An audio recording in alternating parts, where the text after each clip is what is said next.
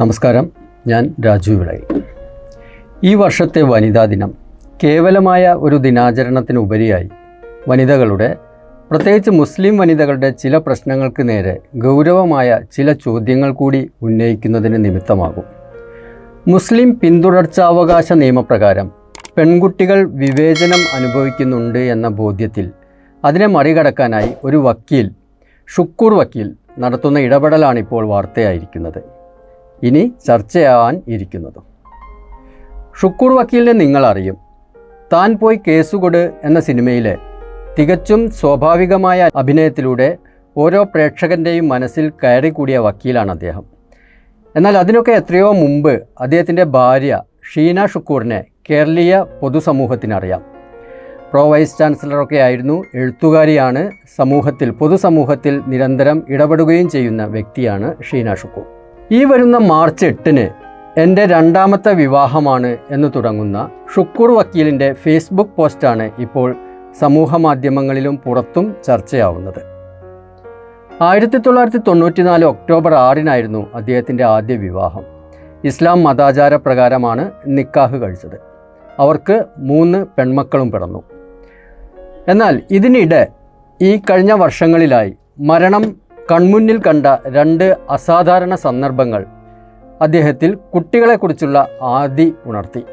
മരിച്ചാൽ ജീവിത സമ്പാദ്യം മൂന്ന് മക്കൾക്കും കിട്ടേണ്ടതാണ്.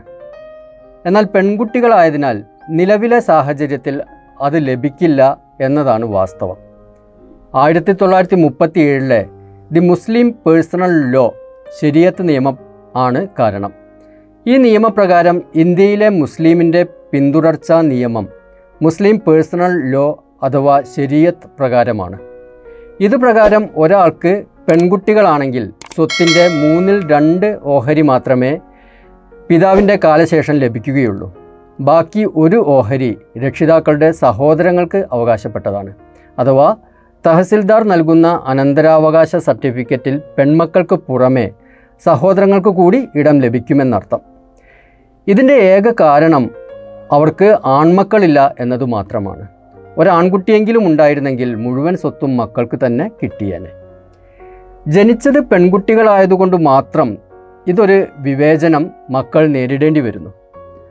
ആയിരത്തി തൊള്ളായിരത്തി അൻപതിൽ നാം നമുക്ക് വേണ്ടി അംഗീകരിച്ച് നടപ്പിലാക്കിയ ഭരണഘടനയിലെ പതിനാലാം അനുച്ഛേദം ജാതി മത വർഗ ലിംഗഭേദമന്യേ എല്ലാവർക്കും തുല്യത എന്നത് മൗലികാവകാശമായി ഉറപ്പു നൽകുന്ന രാജ്യത്ത് ഇസ്ലാം മതം പ്രാക്ടീസ് ചെയ്യുന്നവരുടെ മക്കൾക്ക് ഇത്തരത്തിലുള്ള ലിംഗപരമായ വിവേചനം നേരിടേണ്ടി വരുന്നത് അത്യന്തം ഖേദകരമാണ് എന്നാണ് ഷുക്കൂർ വക്കീൽ പറയുന്നത്.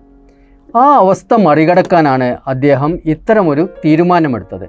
ഈ പ്രതിസന്ധിയെ മറികടക്കാനുള്ള ഏക വഴി ആയിരത്തി തൊള്ളായിരത്തി അൻപത്തി നാലിൽ നമ്മുടെ പാർലമെന്റ് അംഗീകരിച്ച സ്പെഷ്യൽ മാരേജ് ആക്ട് മാത്രമാണ് എന്ന് ഷുക്കൂർ വക്കീൽ പറയുന്നു. ആയിരത്തി തൊള്ളായിരത്തി തൊണ്ണൂറ്റി നാല് ഒക്ടോബർ ആറിന് ഇസ്ലാം മതാചാരപ്രകാരം വിവാഹിതരായ വക്കീലും ഷീനയും അന്തർദേശീയ വനിതാ ദിനമായ രണ്ടായിരത്തി ഇരുപത്തി മൂന്ന് മാർച്ച് എട്ടിന് കാഞ്ഞങ്ങാട് ഹോസ്ദുർഗ് സബ് രജിസ്ട്രാർ മുമ്പാകെ രാവിലെ പത്തു മണിക്ക് സ്പെഷ്യൽ മാരേജ് നിയമ വകുപ്പ് പതിനഞ്ച് പ്രകാരം വീണ്ടും വിവാഹിതരാവുകയാണ്.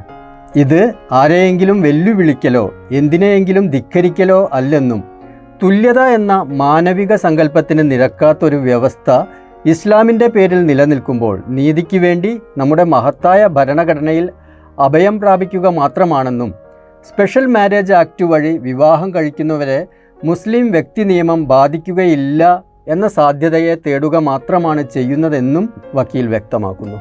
നമ്മുടെ പെൺമക്കളുടെ ആത്മാഭിമാനവും ആത്മവിശ്വാസവും ഉയർത്തുന്നതാവും ഇത്തരം നടപടി എന്നാണ് ഷുക്കൂർ വക്കീലിന്റെ വിശ്വാസം.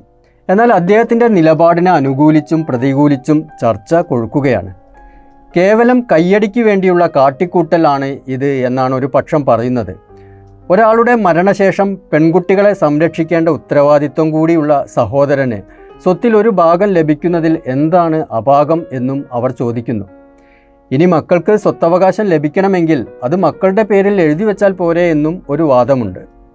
മുസ്ലിം വ്യക്തി നിയമപ്രകാരം വിവാഹം കഴിച്ച് അതിലുണ്ടായ മക്കൾക്ക് സ്പെഷ്യൽ മാരേജ് ആക്ട് ബാധകമാവുമോ എന്ന നിയമപ്രശ്നവും ചിലർ ഉന്നയിച്ചു കണ്ടു. നിയമപ്രശ്നങ്ങൾ വക്കീൽ നേരിടട്ടെ. പക്ഷെ ഒന്നുണ്ട്. തുല്യത എന്നതിന് ഒരു അർത്ഥമേ ഉള്ളൂ. അത് ഇന്ത്യൻ ഭരണഘടന ഉറപ്പു നൽകുന്നതുമാണ്.